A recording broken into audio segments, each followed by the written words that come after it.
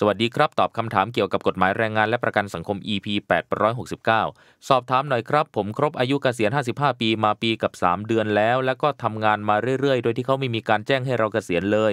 ตอนนี้ผมอยากเลิกทำงานเคยไปถามบุคคลว่าจะให้เกษียณเดือนไหน เขาบอกนายจ้างยังไม่ให้คำตอบ แล้วจะต้องทำอย่างไรถึงจะได้เงินชดเชยครับ คือมันก็เป็นเรื่องที่แปลกครับ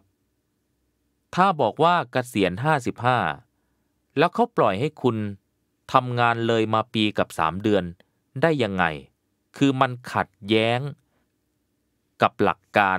ที่ควรจะเป็น คือบริษัทใดก็ตามที่เขากำหนดอายุเกษียณไว้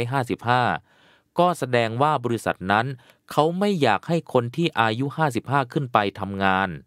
เมื่อเขาไม่อยากให้คนอายุ 55 ปีขึ้นไปทำงาน แล้วเมื่อคุณอายุครบ 55 แล้วทำไมเขายังปล่อยให้คุณทำงานอีก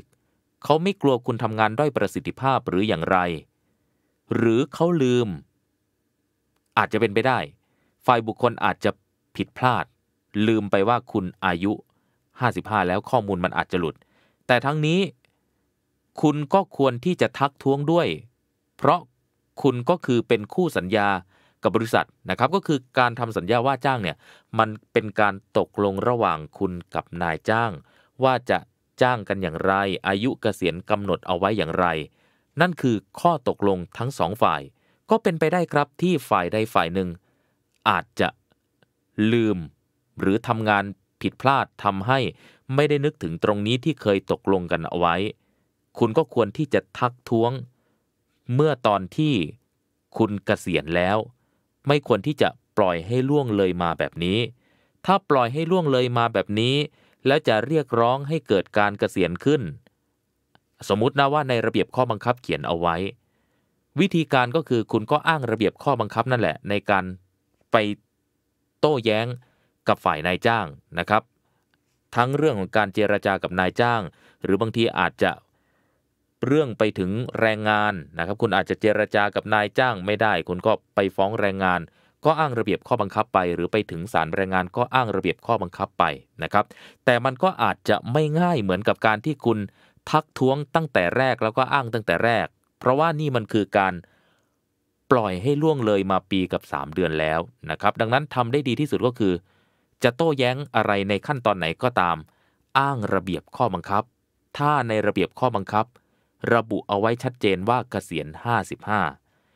แต่ถ้าหากว่าระเบียบข้อบังคับไม่ได้ระบุเช่นนั้น การที่คุณบอกว่าคุณอายุครบเกษียณ 55 ปีเนี่ยเป็นการที่คุณคิดเองเออเอง แบบนี้คุณก็ไม่มีสิทธิ์เรียกร้องอะไรทั้งนั้น เพราะตามกฎหมาย ไม่ได้บังคับว่าการเกษียณนั้นจะต้องเกิดขึ้นตอนอายุ 55 ปีนะครับ หลายคนเนี่ยไปอ่านกฎหมายเกี่ยวกับประกันสังคม หรือว่าเรื่องระเบียบของการรับเงินกรณีชราภาพ สามารถรับได้เมื่ออายุครบ 55 ปีบริบูรณ์และความเป็นผู้ประกันตนสิ้นสุดลง แล้วก็เอามาตีความเอาเองว่า การเกษียณมันต้องเกิดขึ้น 55 ซึ่งมันคนละเรื่องครับ เรื่องของการเกิดสิทธิชราภาพเป็นเรื่องของประกันสังคม ซึ่งอายุ 55 ปีบริบูรณ์ คืออายุเริ่มต้น ตรงนั้นเรื่องของประกันสังคมครับ แต่เรื่องของการจ้างงาน พรบคุ้มครองแรงงาน ไม่ได้กำหนดอายุเกษียณเอาไว้ที่ 55 การกำหนดอายุเกษียณนั้นจะกำหนดเท่าไหร่ มันขึ้นอยู่กับการตกลงระหว่างนายจ้างกับลูกจ้าง หรืออาจจะไม่มีการกำหนดเลยก็ได้ ถ้าเป็นกรณีที่ไม่มีการกำหนดเลย ลูกจ้างก็จะไม่มีสิทธิ์เรียกร้องขอเกษียณตราบใดที่อายุยังไม่ถึง 60 ปีบริบูรณ์ ตามกฎหมายครับ ถ้าลูกจ้างอายุ 60 ปีบริบูรณ์ขึ้นไปถ้านายจ้างเนี่ยกำหนดอายุเกษียณไว้มากกว่า 60 ปีบริบูรณ์ หรือไม่ได้กำหนดเลย ลูกจ้างขอเกษียณได้ แต่ถ้าหากว่าคุณเพิ่งจะ 55 ปีกว่าๆก็ยังไม่มีสิทธิ์ขอเกษียณครับ คุณก็ต้องทำงานไปเรื่อยๆ จนกว่าจะอายุถึง 60 ปีบริบูรณ์ คุณจึงจะสามารถขอเกษียณได้ ถ้าจะทำนอกเหนือจากนั้น คุณก็ต้องอ้อนบอนนายจ้าง ซึ่งนายจ้างจะตกลงหรือไม่ตกลง เป็นสิทธิ์ของนายจ้างล้วนๆครับ ซึ่งนายจ้างเขาอาจจะให้คำตอบมาว่าไม่อนุญาตให้เกษียณ ก็เป็นสิทธิ์ของเขา เพราะคุณไม่มีสิทธินั้น เนื่องจากระเบียบข้อบังคับไม่ได้เขียนเอาไว้ แต่ถ้าหากว่าระเบียบข้อบังคับเขียนเอาไว้ ก็อย่างที่ผมบอกครับ คุณก็ใช้ระเบียบข้อบังคับนั่นแหละ ในการโต้แย้งทุกขั้นตอนของการเจรจา หรือการฟ้องร้องนะครับ แต่ถ้าหากว่าระเบียบข้อบังคับไม่ได้เขียนเอาไว้ คุณก็ต้องทำงานไปเรื่อยๆ จนอายุครบ 60 ปีบริบูรณ์ จึงจะมีสิทธิ์ขอเกษียณได้โดยที่นายจ้างไม่มีสิทธิ์โต้แย้งครับ ขอบคุณสำหรับคำถามนี้ครับ และขอบคุณสำหรับการติดตามรับชม แล้วพบกันใน EP ถัดไป สวัสดีครับ